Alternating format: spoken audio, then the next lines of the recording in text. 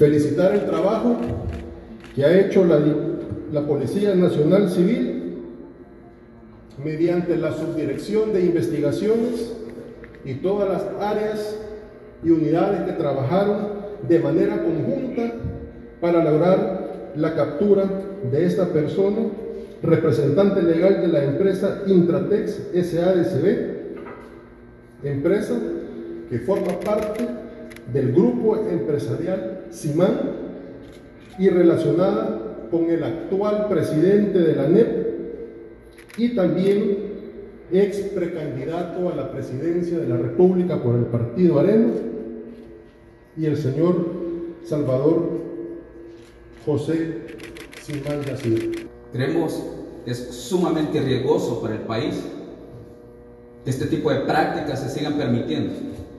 Además de robarle la esperanza a nuestra gente, ponen en riesgo nuestras relaciones bilaterales con otros países.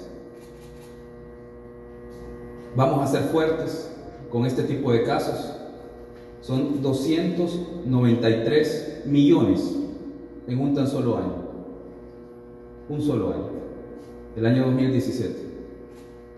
Nosotros mantenemos en investigación los años que siguen, tanto para esta como para otras compañías,